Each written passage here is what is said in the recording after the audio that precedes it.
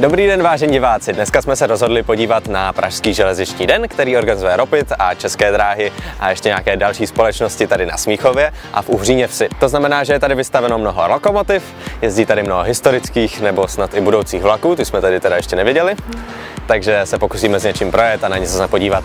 Můžete se dívat na záběry a na můj malinký komentář.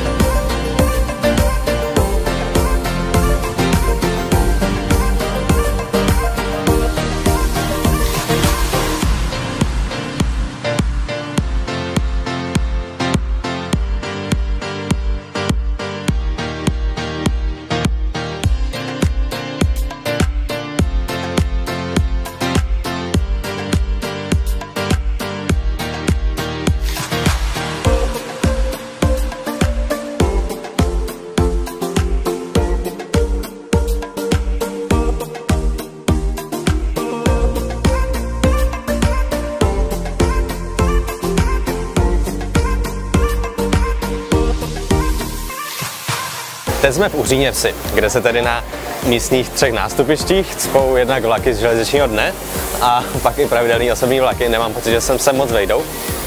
Jinak tady stojí nákladní lokomotivy a můžeme se tady projet do Metransu, což je údajně největší kontejnerový terminál ve střední a východní Evropě. Tak nám tam ukazovali, jak se to překládá, jak jsou tam dlouhé koleje, jak tam jezdí jeřáb.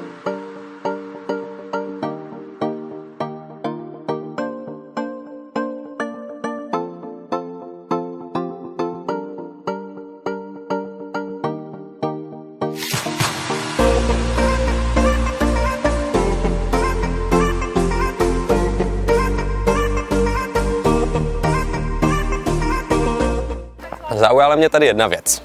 V Česku máme ty dvě moderní lokomotivy Siemens Vectron a Bombardier Trax. A Traxy, který má RegioJet nebo Metrans, jsou koupený. Kdežto Vectrony, který má RegioJet a Český dráhy, tak jsou jenom pronajatý. Takže jsem myslel, že se Vectrony vždycky jenom pronajímají, ale teďka jsme tady našli Vectron od ČD Cargo, který je koupený.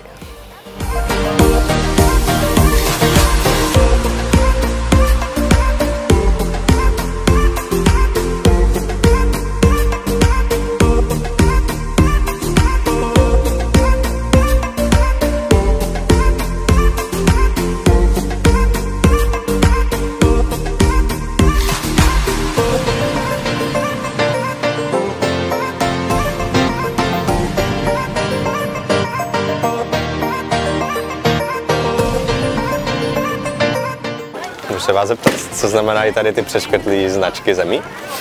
Znamená to, kdyby nebyly přeškrtlí, tak to znamená, kam ta mašina může jezdit.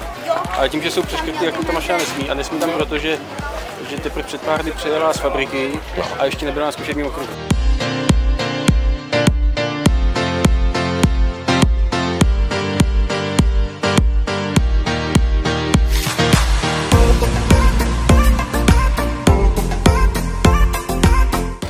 Pražském železničním dni jezdí pro překvapení také historické autobusy, ale my jsme tady kvůli vlakům, takže tímhle nepojedeme.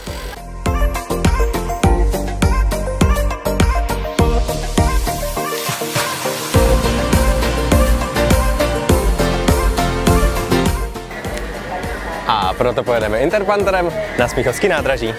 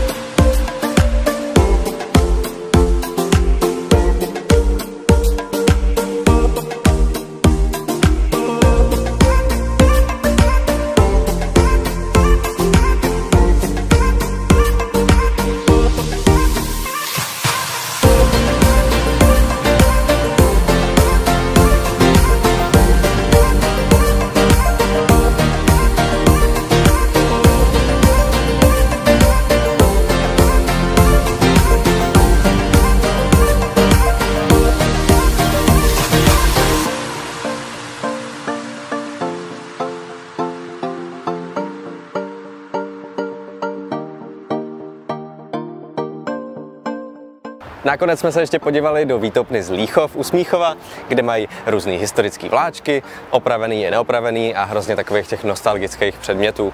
Taky jsme tu podepsali petici za zachování tohohle místa, protože developer by to tady chtěl zbořit a udělat si tady nějaký skladiště. Tu samou petici můžete podepsat i na internetu, odkaz je v popisku videa. Děkuji, že jste se na nás dívali a pokud chcete, aby jsme natáčeli další takovýhle vlogy, nebojte se nám to napsat do komentářů a sledujte nás na našich sociálních sítích a na našem webu metrobus.cz. Ahoj!